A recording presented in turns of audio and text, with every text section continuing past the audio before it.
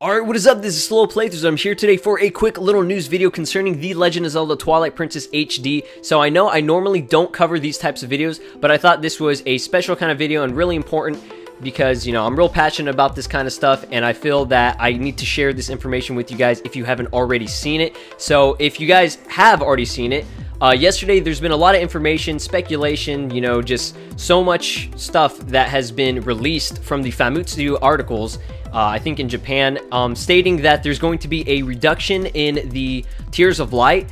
Um, previously in the original game, there were actually 16. Now there are 12. So that reduction definitely makes the game a little bit easier and not as complicated. So, you know, people might think that it's going to make it too easy. People might think that it's making it too hard still. it's all dependent on whoever plays this, and they're kind of targeting everybody. They're trying to widen their audience, and since this is a remake, they want to get as many, you know, people participating in this game and purchasing this game. So it would make sense to reduce it. They've done it with Majora's Mask uh, 3D, and I think they've done stuff with it in Ocarina of Time 3D as well. So it only makes sense that they do it for the HD version of Twilight Princess. Even Wind Waker, they've changed a few things. So that is a pretty significant change because going through the Twilight Realm is definitely a challenge, and collecting all those tears can be tedious. But I feel that it's a pretty good idea and a good idea on their part.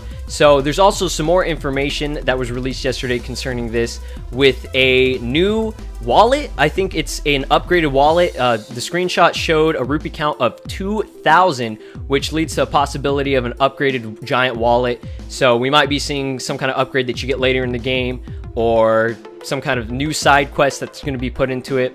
But that's some crazy stuff already. And those were the two things that was, you know, released yesterday in the article that we saw.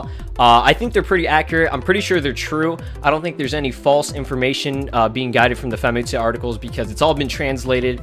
And uh, I believe, you know, it makes sense because we have proof, actual picture evidence. So that's pretty cool. Uh, the biggest news that actually released this morning and it is some crazy stuff which I'm really excited about and I'm hoping it's true.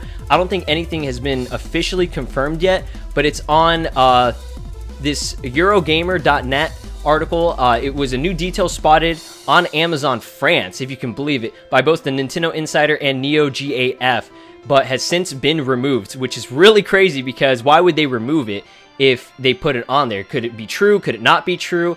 But basically, what this information concerns is that it's the uh, Wolf Link amiibo. So, as you guys know, this game comes with a Wolf Link amiibo for free. So, you pay the $60 and you actually get the damn thing for free, which is awesome. And I'm glad that they're doing that. But what is the purpose of it? Nobody knows yet. We feel that it could be linked to The Legend of Zelda Hyrule Warriors Legends, or even a new Zelda game that's coming out, you know, potentially Zelda Wii U uh, this year. And of course, we're thinking it has to do something with Twilight Princess HD. That only makes sense. But what would it do? So what they're saying is that it in the article it says uh, unlock bonuses with the Legend of Zelda amiibos. As the page describes, tap all the amiibos for the Legend of Zelda series to unlock bonuses in the game, such as regenerating your life or getting arrows for your bow. The new Wolf Link amiibo even allows you to get into a new dungeon, the Twilight Cave. So that leads us to believe that there's going to be a new dungeon in the game. So that would be crazy. I think that'd be awesome. Um, there are actually nine dungeons in this game. I don't know what the Twilight Cave would entail. Would it be similar to the Pit of Trials or whatever it was called in the original game where you go through, I think, 50 or 100 rooms? Uh, it could be linked to that, or it could be completely different after, you know, just post game where you go through it and it's a very challenging dungeon that has some secrets, maybe even potentially linked or you know, influenced by this new Zelda game that could potentially be releasing at the end of this year. So, uh, there's also another new thing as the hero mode. As you guys all know from the previous Zelda games, such as Ocarina of Time 3D, I don't know about uh, Majora's Mask 3D. I don't think there was a hero mode or even a new challenging mode like Ocarina of Time 3D had the Master Quest, and then we also had uh, Legend of Zelda Wind Waker HD and I believe even the original game, uh, we had a hero mode. So this game is finally getting its new hero mode, uh, which can be played off, and there's no need to unlock it. So that is actually really cool. And uh, it seems that on the Wii touchscreen, the Wii U touchscreen, you'll be able to see the inventory. So the game's inventory has moved down there too. So a lot of new things, a lot of new speculation. Uh, with the Amiibo, Wolf Link Amiibo, none of it's officially confirmed, but it would lead us to believe that it is because, you know, there's been a lot of rumors going on, and so far they've been true.